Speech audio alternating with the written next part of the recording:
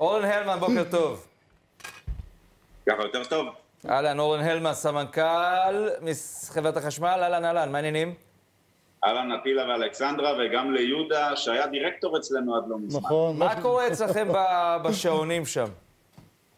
אז אצלנו אה, בסדר גמור, אנחנו ב, אה, ב- במצב של אה, שיאי ביקוש עולים, אה, הולכים ועולים בהתאם לטמפרטורות. אם אתמול היינו עם אה, 12,673 מגוואט, שזה בעצם שיא של מאי של כל הזמנים, אה, אז אה, אנחנו היום נהיה כבר ב-13,000 ואנחנו מתקרבים מאוד לשיא של כל הזמנים של צריכת חשמל בישראל, שהיה 13,500 פחות או יותר.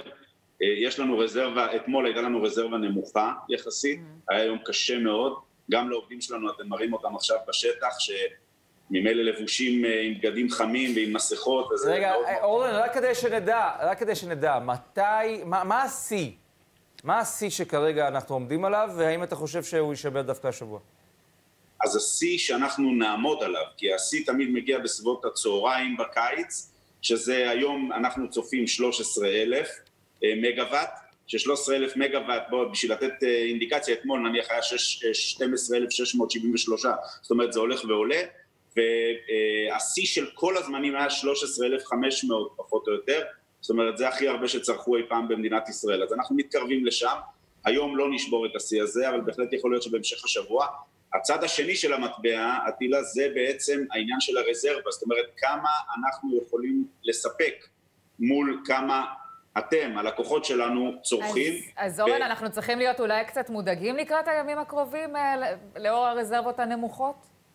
קודם כל אתם תהיו רגועים, אנחנו צריכים להיות, uh, הדאגה היא שלנו, ואנחנו, כן, ואנחנו נעמוד בביקושים שלכם. אני אומר עוד פעם, זה לא קל, כי זה עונת מעבר, ובעונת המעבר הרבה מאוד מיחידות הייצור שלנו, מהתחנות, יוצאות לשיפוצים, וברגע שהן יוצאות לשיפוצים, אז הן לא פועלות. ולכן אנחנו יורדים ברמה של החשמל שאנחנו יכולים לספק, אבל יש לנו היום אלף מגוואט רזרבה, אם לא יהיו תקלות בלתי צפויות אז אין שום בעיה, וכל אחד יכול לצרוך חשמל כאוות רצונו. אנחנו ממליצים על זה שצריך לחשוב על התשלום, כי בסוף על החשמל שאנחנו צורכים אנחנו גם משלמים, וכאן אם תרצו אני יכול להגיד כמה טיפים בכדי אה, גם אה, להתייעל, לחסוך, אה, לחסוך בכסף אחר כך.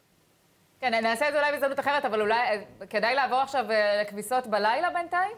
כדי לשמור על הרזרבות? לא, אוקיי. תשמעי, רק אם- רציתי בואי, לוודא. בואי נגיד ככה, אם את משועממת בלילה ואת מחפשת עיסוק וכביסה זה התחביב שלך, אז תעשי את זה. אנחנו, אין לנו בעיה עם זה שתעשי את זה ב-12 בצהריים או ב-12 בלילה.